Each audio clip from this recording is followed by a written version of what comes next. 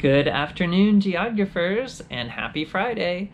I am coming to you from my office here at the Watergate again. Behind me, you'll see Virginia Avenue.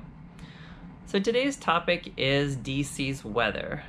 Of course, today is August 23rd, so it's summer, but DC summer normally is hot and humid and overall not pleasant to be around because of that. And it's also crowded because this is the time that a lot of people have to come visit, so it's overcrowded. It's just not a very fun place to be in the summer in terms of getting around.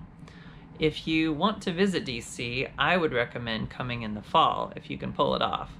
It's really nice here in the fall. The temperatures are cooler, it's not as crowded. All the kids went back to school. The transportation is a little less crazy. I think it's just a nice time to be in DC and see the, the leaves and everything. Unfortunately, the fall doesn't last quite as long as the summer or the winter. DC winters can be crazy. I personally hate them because they're so unpredictable. You can get anywhere from this much snow every five or so years to having a very unseasonably warm, very low precipitation type of winter. The temperatures still can be a little chilly, but not super cold, just annoyingly cold. I just don't like it, you can tell. Um, but it is what it is. Sometimes you can't plan your trips, but you have to, to come when you have the opportunity.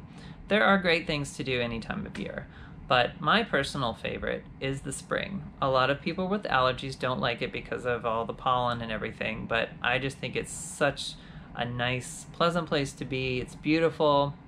Everybody seems to be in a upbeat mood. I like it. So those are the four seasons you kind of have to pick the time that works best for you, but if you can, I say fall or spring.